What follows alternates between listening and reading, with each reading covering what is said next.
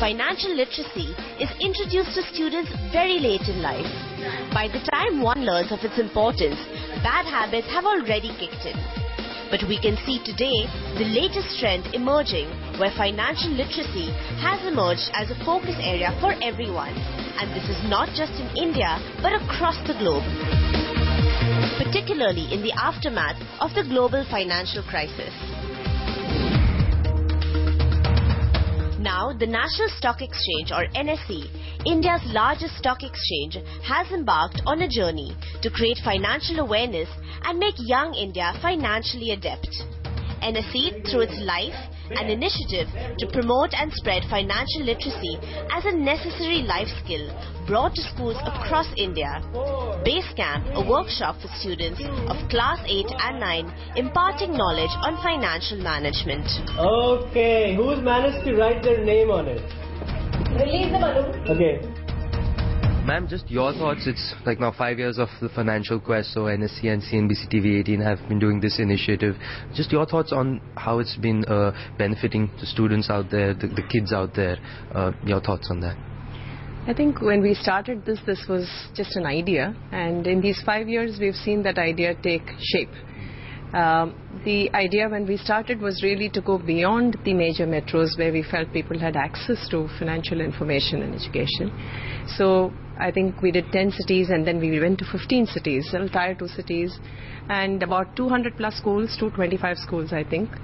Uh, I think it's been a very, very interesting journey, and it has involved to a great extent, uh, you know, our reaching out at the ground level and perhaps sensitizing them and making them aware of what is possible and how financial education can be relevant to children even at that age, how it is truly a life skill, and how to make education interesting. Because I think one of the things we really tried to address when we did this quiz format was that book education has its own merits. But something like finance, which you want people to remember, perhaps a quizzing format may be a very interesting way to do it. Then we supported it with the ground level projects and so on. I think it's come a long way.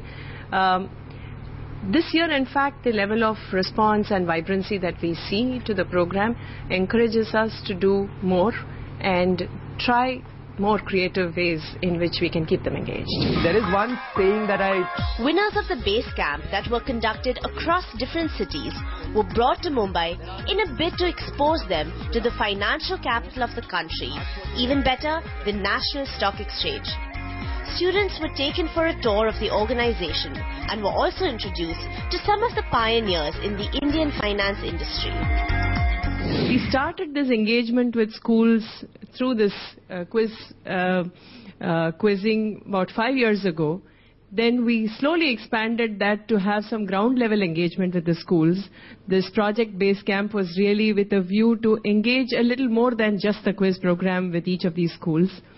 The idea was, you know, all of us um, have spend, and many of you here will spend many, many years picking up a qualification which will help you earn, you know, uh, for the rest of your life. But in our generation, uh, many of us didn't really have the opportunity to learn how to spend the money that we earn. And so, may I say that we were not equipped with these life skills. Today, if I talk to you about finance, this generation is far more equipped to understand finance. They are far more aware. They have opportunities to understand much more. So it's not about making a profession in finance. It's about basic skills to run your life better. And this is the thought process with which we felt that we must start this engagement early so that the future generations have an opportunity to incorporate finance as part of their mainstream education as they grow up. for all of us when we are in school, there are always those one or two visits we always remember for a very long time in our lives. I do hope that NSE and CNBC will make this such a memorable visit for you and make finance a part of your lives. So all the very best to all of you. Actually, Financial Quest one of the one of the initiatives which we've started about uh, four five years back, and um, we are really surprised by the I mean the kind of knowledge kids have been. Um, showing in uh, while participating in this the kind of financial understanding uh, some of the kids have done is absolutely amazing i'm sure um, all of you are uh, in that uh, in that uh, category. Uh, it has been a great experience for us interacting with the students. The exchange obviously is just about 20, 21 years old now. Uh, we are fairly young organization, and in the last two decades, we were able to really transform the Indian capital markets. We started as a just uh, equity section. Everybody thinks stock exchange is just uh, where shares are traded. Um, that, that was true in 1994 when we started, but um, over the last two decades, we have transformed from being a very uh, just a stock exchange to multiple, multiple things where we have introduced various asset classes. The focus of education has always been with us because without understanding the product, the equity markets have become fairly complex. Some of you uh, possibly uh, would have done very brief study. The markets are becoming completely complex. Uh, the financial products are becoming very complex. Unless people understand, they may not be able to use those products. So that's where we actually started our tryst with uh, education in a way then we realized that we actually have to do much more. I mean, it's not just uh, talking to investors and possibly uh, certifying the skill sets of intermediaries. So that's where we actually started looking at the possibility of coming into formal education, formal education like schools, colleges, uh, universities. Uh, and usually most of the schools and colleges and universities have a fairly standard theoretical uh, basis which they are creating in, uh, in, in, students. What we wanted to bring to table was uh, the practical experience, practical knowledge, practical understanding, how the markets work. Uh, that's where we actually started looking at um, uh, uh, partnering with some of the universities and colleges. We have programs now right from um, school level to postgraduate level. So idea is to try and prepare kids to enter into the uh, the financial markets, not just the securities market, it is banking, finance, um, insurance, and uh, entire financial services. So there is huge underpenetration which is which is uh, in financial markets and we require a large number of trained, skilled manpower to take financial markets, banking, insurance, and other, other services to the entire section of population. So that requires uh, trained manpower. That's where our entire effort of ensuring that we're creating a manpower which not only understands the theory, theory obviously the your teachers will be uh, competent to teach the theory part of the story, but the practical aspects. Even if you don't want to take finance as a career, it will stand in good stead as an individual when you, once you start earning money. Uh, you will be able to manage your money more effectively and more efficiently. That will possibly uh, the best you could do for uh, the country because this economy requires people who are responsible with their own finances. Uh, all the best. Uh, you guys have done a fantastic job. Please continue to do and make this country proud. Thank you very much. After the break, we get insights from two of India's finest wealth managers. Stay tuned. How to fill up the form and how to go to a bank.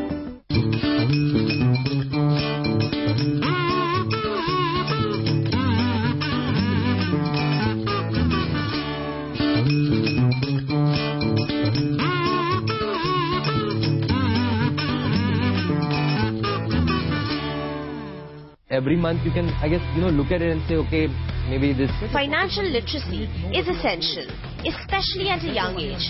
And to reinforce this, a panel featuring two of India's finest wealth managers gave their insights about proper finance management. I just wanted to start with debt. Just simplify. Debt is basically fixed deposits yes. to bank. Generally, I mean, that's the major component of debt, you could say. Now, uh, there are some banks out there who allow uh, minors to open their savings bank account either with the parent as a joint signee or joint holder. So the just thoughts on that. Is that uh, something that you would uh, recommend that students who don't have it go home and ask their parents that please open a savings bank, children's saving bank account for me. Is that uh, your advice? Is that something good to be done? That's that's a brilliant idea, you know, to get the child to the first step of investing, you know, or first step of finance, personal finance. The bank account is the basic thing. In fact, you must all encourage your parents. Teachers should encourage, uh, you know, parents uh, in the school to open the bank account in the name of child, when they can become the guardian, and they should involve the child in the entire process. And then when you open a bank account, you whatever money you have, as low as 100 rupees or 200 or 500, you can deposit it and then you may get a card nowadays with the advancement of technology you get something called debit card you know which is which is your way to withdraw your money whenever you want so the children should also know the process uh, how to go to an atm and how to withdraw money now that's the first step and when you you want interest also Yeah. so that's when you start knowing the power of your savings that's when you know the power of money because you are working hard and your money is also working hard Firstly, what is a demat account? Why is it required? Why is it beneficial? See, Demat is an account basically which allows you to buy and sell securities in the, any exchange. So whether you're buying uh, equities or you're buying even debt instruments which are listed, you need to have a Demat account without which you cannot transact at, at any exchange. So one of the main requirement for anyone to start doing transaction on the exchange is to have a Demat account. So it's something that can be opened and but uh, currently I think it's only for when you, once you reach 18. No, the, the minors can open, but there has to be a guardian, either Okay. father or mother or natural guardian appointed by the court. Okay. Has to be uh, one of the guardians there. Minor in their own name cannot open and transact on their own. Okay. There can be an account represented by a guardian. Equity is really important as in to investing, you know, to uh, meet to meet your personal finance goals. Uh, could you simplify equity for them? Why not? Uh, how many of you here like pizzas? All of you? Yeah? Some of them not showing hands for the fear of teacher, you know. so, so, though it's a junk food, but everybody likes pizza, you know. Have you heard of a pizza chain called Domino's Pizza? Yeah. Have you had eaten there? And McDonald's burgers? When you go to these stores, what do you see there? Full crowded, lots of people queuing up in the line and wanting to eat pizzas. Right from morning 7 o'clock till 11 o'clock in the night. And on the weekends, it's, it's fully crowded. So what do you see? When you go and spend your money there, those people are earning money from by selling pizzas and burgers to you, right? Wouldn't you wish that someday you also wish to want to start a chain like this? With the concept of equity, tomorrow you can just partner with the person who owns those restaurants and you can say, you can say look, I have 1 lakh rupees money or 1000 rupees money. I want to partner, uh, do a partnership with you. And you give him the money. You don't become active member or a part of the company. Because you've given your capital to him, he gives you some percentage of share in the company. So he may give you 10% of all the profits in the company. Next time, whatever money he makes, you earn 10% out of those sales. And that's what is an equity. You're, you're taking a part ownership in the company by giving some capital to the promoters or to the founder. That's equity for you. Can you, for them, just connect the importance of discipline to equity, which will then help their money, you know, multiply? Sure. You know, when we talk about discipline, discipline actually should be there for every investor, irrespective of whether you invest in equity or you invest in debt. Okay, because half your investment success will come from the fact that you're a disciplined investor. You know, as I mentioned initially, that you need to know what you want to do with your money. And you can do that only if you're a disciplined investor. What discipline means? That every month you put aside some money for investment.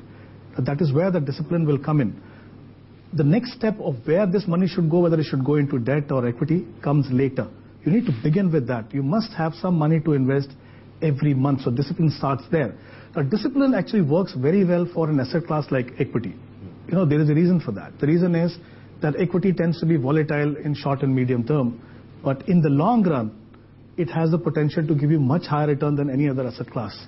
The discipline process ensures that you're buying equity maybe every month, maybe every quarter, mm-hmm. maybe every half year or once in a year, depending on how, how you can do that. And why it is important is, as I mentioned, equity tends to be volatile because it is not that the company is going through some crisis or there's something wrong with the company when there is a volatility in the market. It could be many national and international factors that impact what happens in the stock market. Because what requires in equity is that you need to have a long-term view and also be investing on a regular basis. A combination of these two will ensure that you get fantastic results from equity.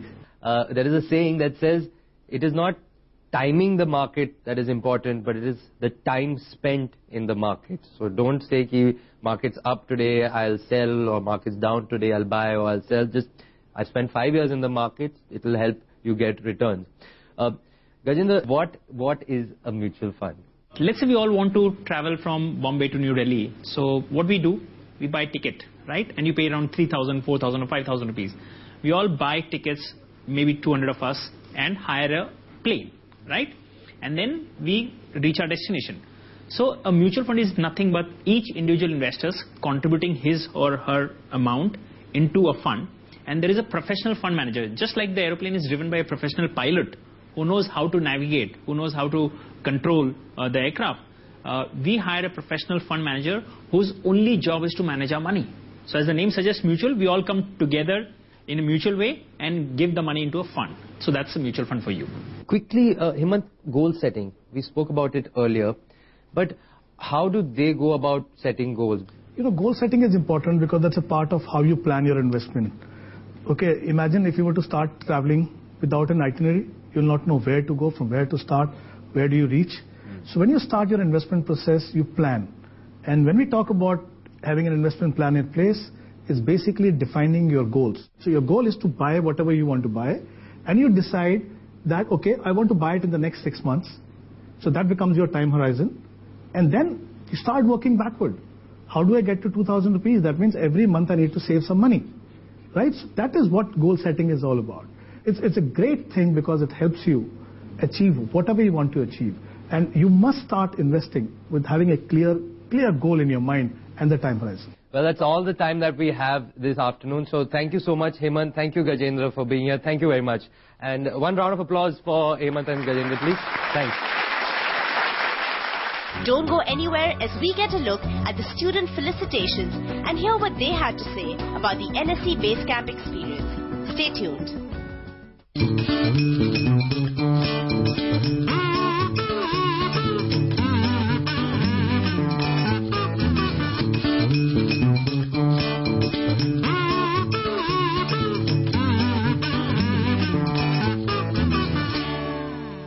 Now, after months of toiling, we have our winners here. It takes great effort to make a change, and the young minds of the NSE Base Camp Challenge have shown their strength and fervor towards making that change. These young guns were also felicitated for their work by Ms. Chitra Ramakrishna, the Managing Director of the National Stock Exchange of India. Okay, so I'm going to call out the names and you can come up one by one.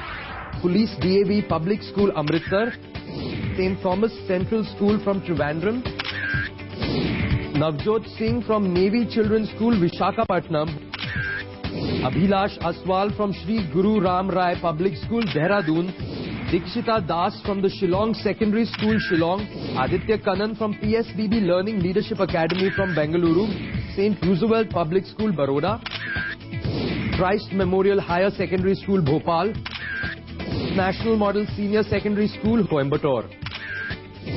Suyash convent Nagpur. PS Vidya Bharati, English school, Surat. Lakshmipat Singhania school, Kolkata. तीसरी academy, Kolkata. Prabh Puneet Kaur Bandra from Shri Guru Harkishan public school Anamika R from Saint Thomas central school Trivandrum Sheikh Hazra from Stella model school Visakhapatnam Sanjana Prajapati from Shri Guru Ram Rai public school Dehradun Mahaprem Modern Higher Secondary School, Shillong. Anamika Sachdev from Vivek High School, Chandigarh. Nishant B from Cambridge Public School, Bengaluru. Neenama Jinesh Vijay Kumar from Uma Vidyalaya, Baroda. Vinayak Rao Dixit from International Public School, Bhopal. Saran Shanmuga Sundaram from Sri Gopal Naidu Higher Secondary School, Coimbatore. Tushar Vasudev Bhogekar from Suyash Convent. Rutuja Gandhi from R&DE School, Pune. Kevna Amit Mehta from Ryan International School, Surat.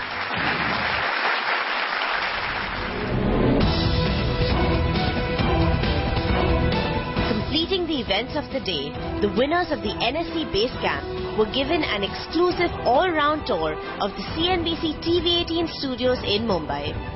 Students were taken to every nook and corner of the office and were also given an opportunity to interact with markets anchor Lata Venkatesh.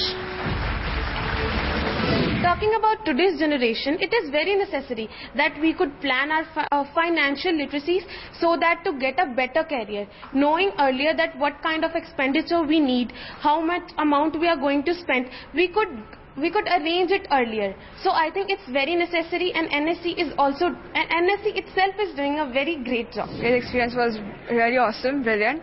I learned many new things. Like I came to know how news channel works and the procedure is very long but yeah i appreciate the work the day you cannot be described in words because from the nse's base camps doing the project and winning this and becoming the part of uh, nse's uh, uh, adventure and what they do what the work of cnbc is there it was just an amazing and educational trip more than fun it was the opportunity for me to know what is going over there what the stocks are meant to this channels what the fluctuation and inflation in this what the news are there and journalism is the most important thing in these sessions. So it is uh, very important to get this knowledge at the early ages so that we can do better and we can become a successful person in our lives.